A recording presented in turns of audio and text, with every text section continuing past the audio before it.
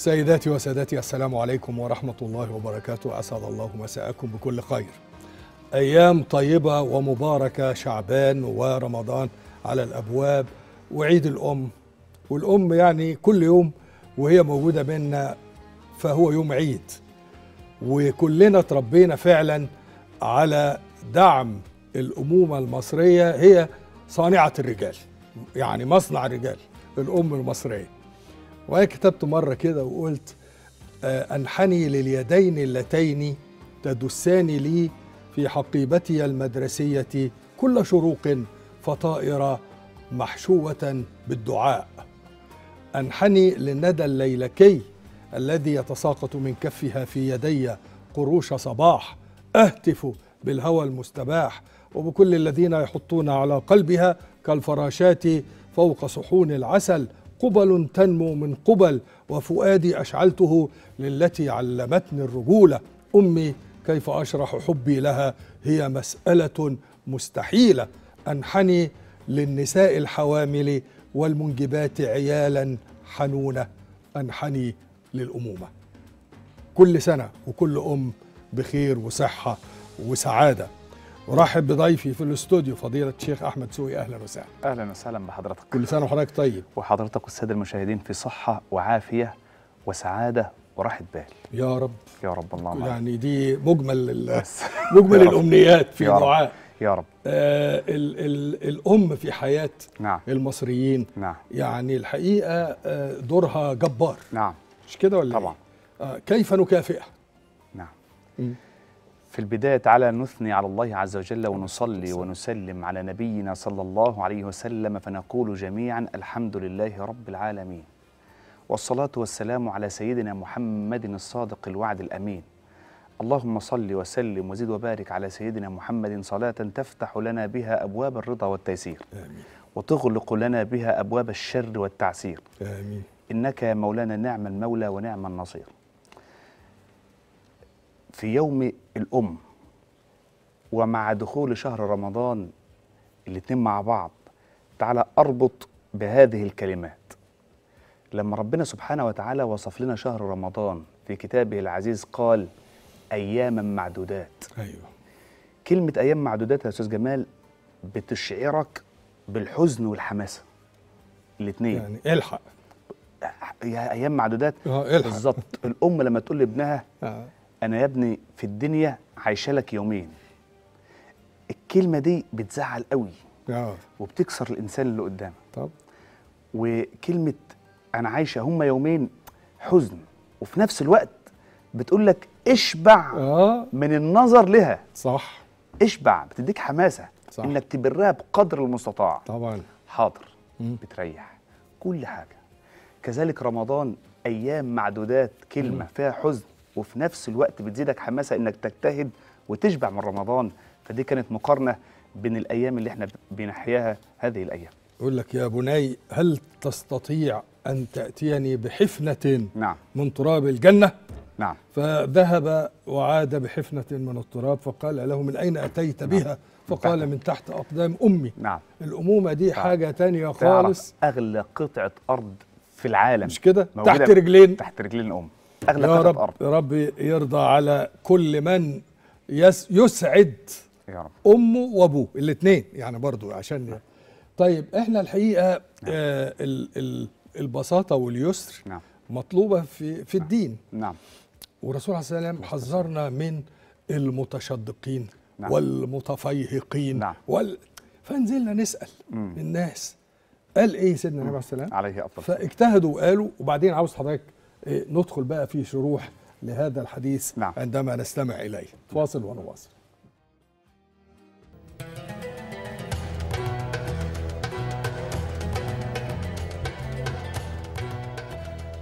أهلا بكم مع أجمل ناس. في ناس عندهم آه، إحساس بالذات والتضخم كده وإنه عظيم العظماء وكبير الكبراء وبيفهم في كل حاجة. اللي هو أبو العريف يعني اللي فاهم. آه. ولذلك في حديث كده للرسول عليه السلام يقول لك هلك الثرثارون والمتشدقون والمتفيهقون. مين بقى إن هم الثرثارون؟ كثير الكلام. آه. صرصار اللي هي جاية من الصرصره في فيلم كده يقول لك صرصره فوق النيل. مش كده؟ صرصره هلك الصرصارون اللي هم إيه؟ كثير الكلام. ال- الرجاي اللي بيهبد في أي حاجة يعني. طيب. آه والمتشدقون. المتشدقون اللي هم بيعملوا إيه؟ ياخدوا صوتهم عالي؟ أيوه. قربت شوية ياخدوا الكلام متشدق من الايه شدق. أيوه. من الشدق يعني يعني بي بي بيتكلم بعوجة. بي بي يعني بيتقنعر في الكلام كده. مش كده؟ طيب والمتفيهقون. اللي هو بيبقى فقير اللي هو عايز يعمل نفسه ان هو فقير آه ال بيقول ال أي كلام فاكر إن هو صح؟ آه بيقول إيه؟ أي كلام. المتفيهقون اللي هم آه بيفتوا فيما لا يعلم. آه يقول لك فتاي. آه أو إيه؟ متكبر. ما هو الفتاي ده متكبر يعني هو بي طيب الرسول عليه وسلم قال لنا حذرنا من الرويبضة. إيه هو الرويبضة؟ الشخص الرويبضة. الرجل التافه يتكلم في أمر العام الله يفتح عليك. يعني حييك والله. تعال. تعال. الرجل الإيه؟ الرجل التافه يتكلم في أمر العام أيوه. قال رسول الله صلى الله عليه وسلم سيأتي على الناس فيه يكون فيه سنوات إيه؟ خداعات. خداعات. آه يكون فيه الامين الأمين. ويكذب فيه الصادق آه. ويصدق فيه الكذاب. آه يص... ويكثر فيه رويبضه ويكثر فيه رويبضه و... و... وين... وينطق فيه الرويبضه آه قال رسول الله صلى الله عليه وسلم سيأتي على الناس زمان سنوات الخداعات سنوات خداعات. يؤتمن فيه الخائن ويخون فيه الامين يكذب فيه الصادق ويصدق فيه الكاذب. أو الكذاب.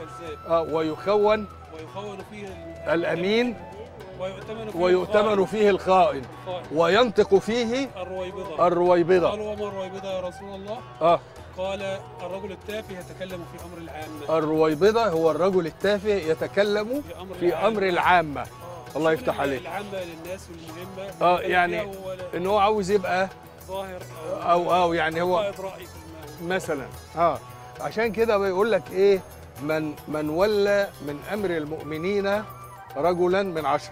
وهو يعلم أن فيهم من هو خير منه فقد خان ال- الله. ورسوله. آه يعني لو واحد حطينا واحد في مكان وإحنا عارفين ان إيه الباقي العشرة دول أو اي مجموعة فيهم حد احسن منه يبقى دي إيه فقد خان الله ورسوله. الله يفتح عليك. يبقى الرويبضة اللي هو إيه بقى؟ الله. الرجل التافه يتكلم في الأمر العام ده اللي هو إيه؟ الرويبضة أنا بحييك وبشكرك. طب والإمعة اللي هو مين بقى؟ مع يقول إذا أحسن الناس أحسنت. طب ده راجل هايل قوي ممكن نشجعه تسقيفة حلوة كده؟ مبروك. آه الإماعة آه الرجل الذي لا رأي له معهم معهم عليهم عليهم وإذا أحسن الناس وإن أساءوا أجمل ناس المصريين.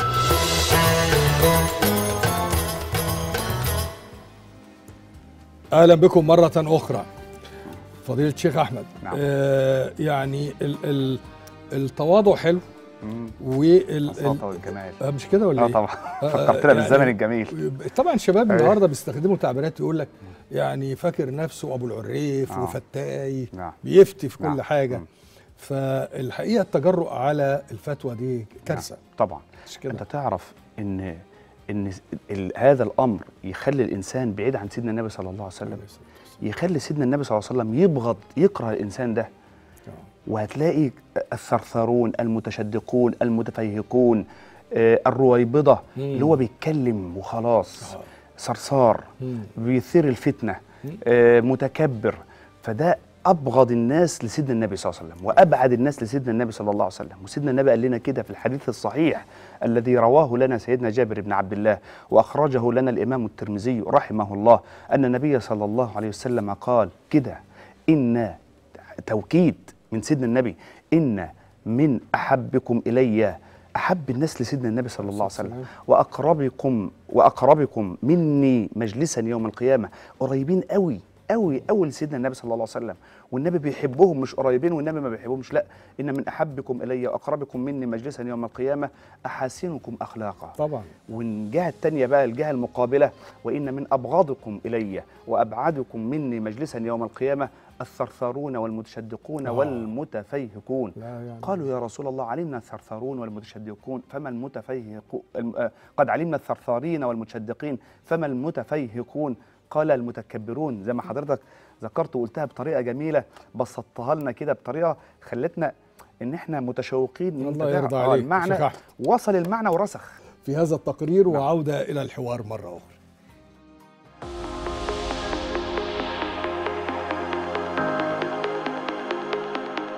نبض الحياة لما تقول لك إحنا في المكان الفلاني قول لهم أنتوا تبع حملة إيه؟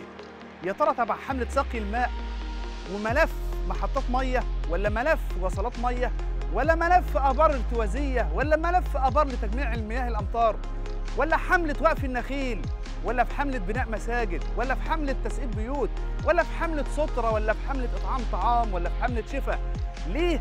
لأن كل مكان ممكن تلاقي نبض الحياة بتعمل أكتر من حملة من حملاتها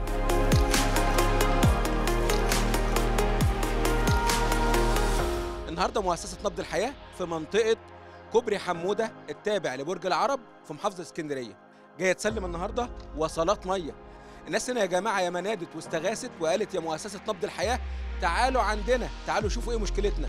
مؤسسة نبض الحياة ما بتتأخرش ابدا. راحت وبحثت المشكلة وشافت على أرض الواقع وبع- وبعتت المشروعات بتاعتنا وعملت مسح ميداني لأهالي المنطقة هنا وكمان أبحاث اجتماعية للفئات المستحقة اللي حضراتكم متعودين مع مؤسسة نبض الحياة عليها. كنا بنجيبها من برضه من مكان بس من بعيد شوية يعني. في اليوم كده كم مشوار؟ ممكن من ثلاثة أربعة خمسة. تبع جهد البني آدم طبعا. والله العظيم كنت بمشي وأمشيهم يشيلوا كل واحد جركن معايا أمال هشيل إيه بجيبه خليهم يشيلوا كل واحد جركن كده. لعند ما نجيبوا مية يا دوب تكفينا. اليوم نجيبه أربع مرات خمس مرات قبل ما تكفينا.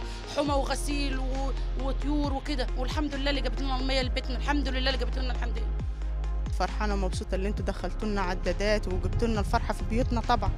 فرحانة المية جات لنا والحمد لله اللي إحنا لقينا نشربوا مية نظيفة وكويس. ما كناش لاقيين المية كنا بنمشي مسافة كبيرة قبل ما نجيبوا المية. وتقول إيه لمؤسسة نبض الحياة؟ أقول لهم ألف شكر. ألف شكر اللي هم بيسعوا في الخير ويا رب يجعلهم كده على طول سنة خير يا رب للناس بحالها ويعني أشكر نبض الحياة جدا جدا جدا اللي جابت لنا مية ودخلت الفرحة لعيالنا وعيالنا الصغيرين شربوا مية نظيفة. كنا بنشربوا مية من تحت الأرض والعداد ما نقدروش نجيبوه ما نقدروش. لعند ما لقينا الراجل اتبرع لنا وقال لنا هنجيب لكم من نبض الحياة. عدادات سعينا وجرانا وراه لغاية ما جاب لنا الحمد لله لنبض الحياة والدليل اللي جاب لنا من نبض الحياة. تقولي إيه بقى تدعي له وتقولي له إيه اللي كان السبب في دخول الوصلة دي والله ربنا يصلح حاله ويقدمني في طول الحياة يدي للناس بحالها ألف شكر اللي هي فرحتنا ودخلت لنا العدادات دي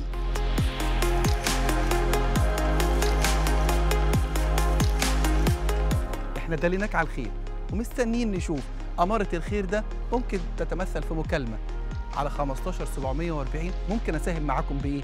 أقل حاجة ممكن أساهم بإيه؟ طب على الأقل أعرف معلومات عشان أدل غيري على عمل الخير. مستنيينكم.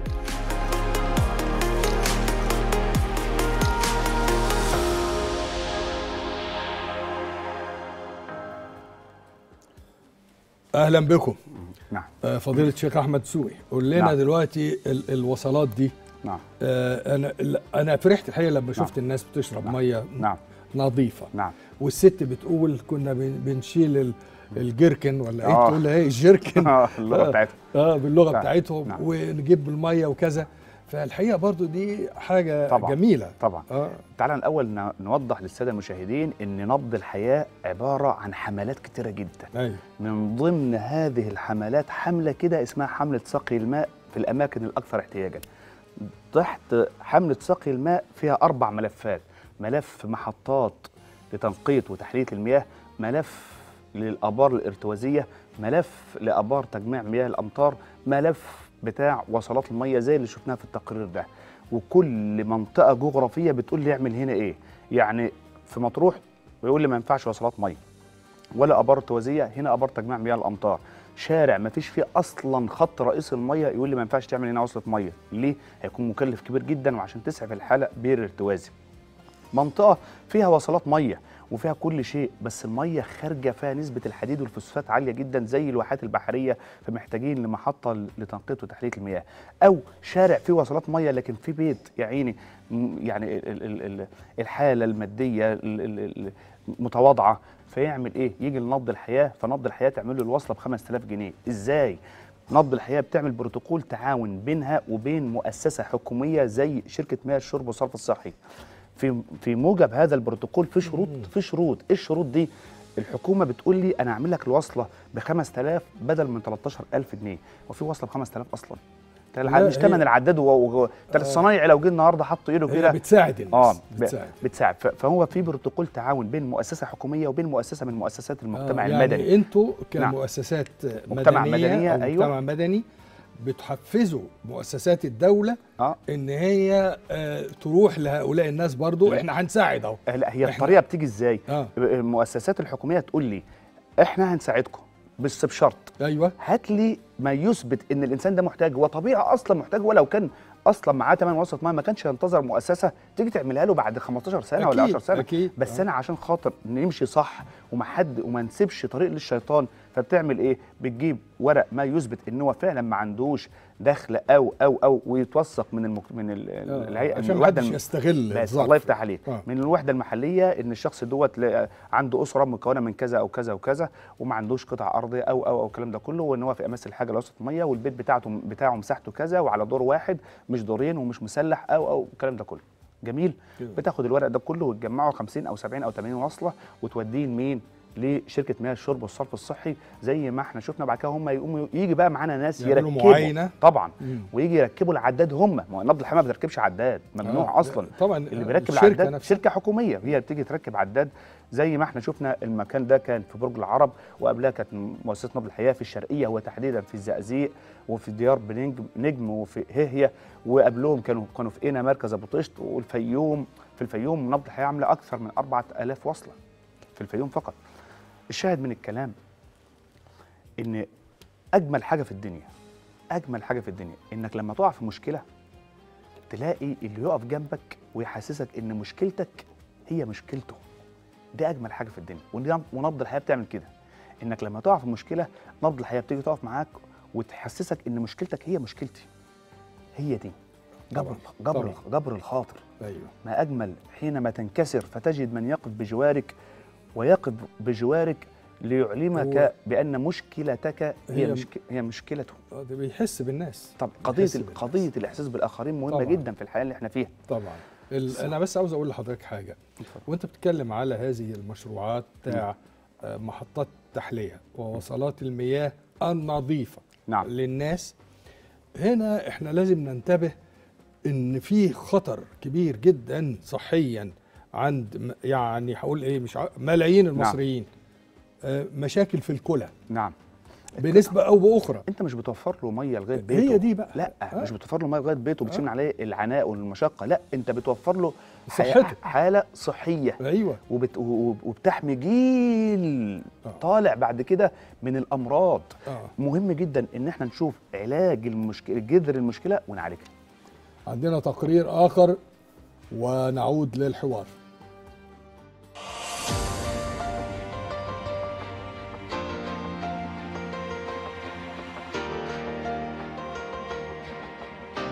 بتمر سنين وسنين ونفس الانطباع هو هو. أول مرة أو اول زيارة ليا مع مؤسسة نبض حياة كانت هنا في برج العرب القديم أو في الكرنك قرية الكرنك والعمرية. من مكان مجاور ومن كوبري حمودة موجودين النهارده وعبر السنين اللي بتمر. وصلات المية يا أهل الله وصلات المية يا خلق الله إحنا بنشكي من الحال ومن ضيق ذات اليد. ساعدونا وساندونا.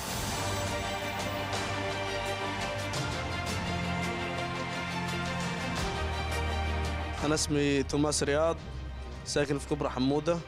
نشكر مؤسسة نبض الحياة دخلوا لنا مية الأول ما كانش في مية ودخلوا لنا مية الناس تشكر. شكر لمؤسسة نبت الحياة ويتبرعوا لكل واحد محتاج. وكنا نجيب الماء من مسافة بعيدة وناس تشكر إن جابوا لنا المية. الحمد لله الدنيا دلوقتي أحسن من الأول. الحمد لله برضه كده. طب بأمانة والله. المشاوير اللي كنا نروح نعبي من عند المزرعة مية مالحة من ال- الأبيار دي. أيوة ده الاستحمام والغسيل. آه. والراجل ده كان يوصل لي الخرطوم يقرب المسافة علي. كنت أعبي ال- في برميل بلاستيك كنت أعبيه مية للشرب. الحمد لله حضراتكم. كنتم الداعم بعد ربنا سبحانه وتعالى في إن إحنا نلبي احتياج أسر كتير جدا. من إخواتنا المسلمين والاقباط الاتنين على السواء. عشان كده إحنا بنقول إحنا بنرعى يعني كل ال- الروح الإنسانية المشاعر الأخوية ما بين القطبين ما بين المسلمين وبين الأقباط هنا في إن إحنا ما بنقولش لحد لأ ما دام الظروف محتاجة إن إحنا نقدم المساعدة إحنا بنلبي النداء وبنقول إحنا بندعم ده وبنوفر ده بإذن الله سبحانه وتعالى.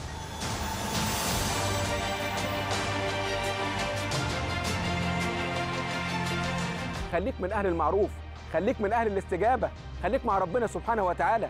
رب العالمين سبحانه وتعالى بينادي على عباده. يقول في صحف إبراهيم يا ابن آدم إن كنت بالغدر موصوفا فأنا بالجود معروف. وإن كنت ذا خطايا فأنا ذو عطايا. وإن كنت ذا إساءة فأنا ذو إحسان. وإن كنت ذا إنابة فأنا ذو قبول وإجابة.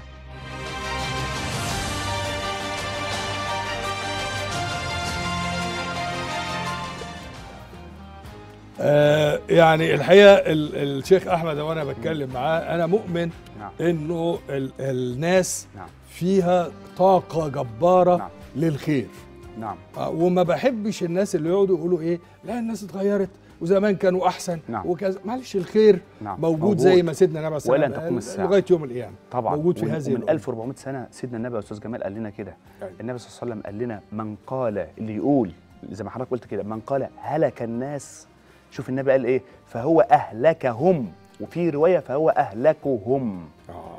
يعني هو اللي حكم عليهم بالهلاك والرواية الثانية فهو أهل- أه- أهلكهم. يعني هو إيه؟ هو اللي هالك مش الناس اللي هالكة. طبعا. من قال هلك الناس فهو أهلكهم. وفي رواية فهو أهلكهم. يعني هو أهلك نفسه. أهلك نفسه. نعم. فالناس فيها الخير. فيها الخير. بس إحنا نطلعه بقى. الله بدليل. استكشاف. بدليل. أنت لما تبقى ماشي في الشارع وتلاقي واحدة بتبيع مناديل أو أي حاجة بس تقف تحكي أو في المترو بتلاقي الناس كلها بس يشوفوا في صدق. والله العظيم يشوفوا في صدق. طبيعي. تلاقي الدنيا كلها قامت. أيوه. لما تلاقي في واحد مش عارف عنده تكسر في تكسر في الصفائح الدموية و... و... وكانوا محتاجين له مش عارف كام مليون. دم آه لا والحاجات- حاجة. تلاقي الدنيا كلها وكله بيتبرع عشان خاطر يعمل. أيوة. ولا لا قدر الله لو حصل حريق في في القرية من في بيت من قرية من القرى تلاقي ال... الح... ال... البيت الحريقة. بتطفى قبل ما المطافي تيجي. أيوه. فالناس فيها خير. أيوة. بس حركني. حركني لو بيستجيبوا لما جداً. أنت يعني هو زي ما أنت بتقول مشكورا لما بيحسوا بأن النصيحة صادقة نعم وان هي هتنفعهم في حياتهم في تحرك بيضرب تعظيم سلام طبعاً. يقول لك آه والله يعني ده كلام طبعاً. رائع جدا طبعا فعشان كده عاداتنا وتقاليدنا نعم محتاجة مراجعة وأرجو فعلا وأنتوا رب. بتعملوا الأعمال الطيبة دي إن يكون في نوع برضو من التثقيف نعم. والتوعية نعم حتى في الأكل والشرب تمام. يعني ناس إيه إحنا عاداتنا وتقاليدنا محتاجة مراجعة. طبعا. يعني أنت- مثلا مراجعة حلو كلمة مراجعة. مراجعة. بس. طبعا طعام مراجعة. أهل الجنة نعم. الفواكه نعم. مثلا. بس. الخضروات الحاجات الحلوة. ما. بناكلهاش. إحنا نعم. بالنشويات وكده. نعم. يعني أقصد إيه؟ ال- الحوارات دي نعم. بت بتحسن حياة الناس. الله يفتح عليك. آه مش مجرد إن أنت بتساعده مساعدة نعم. سريعة أو نعم. إنقاذ نعم. سريع بس. نعم. فيعني أعتقد إنه ده آه. مهم جدا آه. إنك وانت بتقدم المساعدة للإنسان النصيحة معاه. أيوه النصيحة وخاصة هو يتقبلها. ليه؟ لأنك أنت بتساعده فأنت خايف عليه. فجميل إنك وأنت بتساعد حط له نصيحة. أيوه. واحد بتعمل أقول لحضرتك حاجة. وأنت بتعطي عجبني واحد وهو بيعطي الصدقه يقول له أنت صليت؟ يقول له لا أنا ما صليتش. يقول له طب خش يلا صلي المغرب أو العشاء. هو في وقت صلاة مثلا على سبيل المثال. آه. فتلاقيه فرحان وداخل هو بيصلي بأريحية. فأنت بس أنا مع- خايف من المثل ده. ليه؟ في مقايضة. لا في. مقايضة. لا خلي يعني خد لا وبعدين إيه؟ أقول لحضرتك حاجة. آه آه. إحنا في الدنيا كلنا. ماشيين بمبدأ الجزاء وربنا بيعاملنا كده بمبدأ أيوة، الجزاء. أيوة. لو لو ما كانش في جنة ما كانش ما كانش الناس صلى صح. ولو ما كانش في نار ما كانش الناس فهي قصة ال- الجزاء والثواب والعقاب بنصبر على مهم الناس شوية. مهم جدا والتعامل لابد أن يكون بحكمة مع الناس والناس بسم الله ما شاء الله فيها خير جدا. إحنا في أيام مباركة في أيام كلها نفحات وبركات بنسأل ربنا عز وجل إن هو ينزل علينا من سحائب رحماته وبركاته في أيوة، هذه. الأيام الطيبة المباركة يا رب يا. وكل واحد فيكم يدعي الوقت يقول يا رب يا رب استخدمني ولا تستبدلني آه، في. الأيام دي مهم آه، جدا آه. عارف جارك اللي هو مش لاقي ياكل ويشرب والله أقسم بالله هياكل ويشرب النهارده بس يا ترى ربنا هيجعل الخير يدخل له على إيدك ولا يحرمك أنت ويعطي لغيرك يدخل له هو الخير استخدمنا ولا, تستبدلنا. يا, رب. يا رب. اللهم يعني استخدمنا ولا تستبدلنا. آه آه، طبعا. ده أجمل دعاء. واستخرج منا يا رب ما يرضيك عنا. آه طبعا. اللهم استخرج طبعاً. منا ما يرضيك إحنا عنا مسروقين يا شيخ أحمد في الدنيا دي. آه. بنتسرق في, في تفاصيل أيوه طبعا. في الحياة كتير. نفرمل. آه. محتاجين نفرمل. آه. سيدنا النبي صلى الله عليه وسلم جاء إليه رجل وقال له يا رسول الله سؤال صريح. أي الصدقة أعظم؟ قال أن تتصدق وأنت صحيح شحيح تخشى الفقر وتأمل الغنى. وكلنا هذا الرجل بنخاف من الفقر ونفسنا في الغنى. في الوقت ده اشبع من العبادة اشبع من العبادة. وأنت في كامل الصحة والعافية قبل أن يحال بينك وبين العبادة. تلذذ أقرب ما- بالسجود آه، إلى الله أيوة عز وجل. قبل أن تأتي في. يوم وأنت تجلس على الكرسي ولا آه. تستطيع أن تسجد. والله أنا الحقيقة تلذذ. بشوف ناس نعم. يعني آه، بيبكوا. نعم. إن هو مش قادر يسجد. صحيح. آه، صحيح. يعني أن إنه- الله عز وجل يقبل طبعا السجودين. هو- طبعا. أن الله يقبل السجودين بس هو نفسه- ولعل إنسان يجلس على الكرسي لا يستطيع أن يز... أن يكون يسجد. ثوابه كبير. ثوابه أكبر فقلبه ساجد وخاشع. لله عز طبعاً، وجل. سجود في القلب. لكن العبادة في حال القوة متعة أحب إلى الله عز وجل فيها ومتعة الله يفتح متعة عليك. لصاحبها. الله يفتح عليك. فضيلة الشيخ أحمد سوقي نورتنا. الله يبارك فيك. آه، بنور حضرتك. يعني أيام بركة. نعم. ويعني آه، أرجو إن إحنا نحفز بعضنا بعضا على إطعام الطعام. نعم. وعلى عمل الخيرات. والحس الشعبي بيقول كلمة جميلة قوي الست المصرية بقى بمناسبة برضه عيد الأم ولا يقول لك إيه من أطعم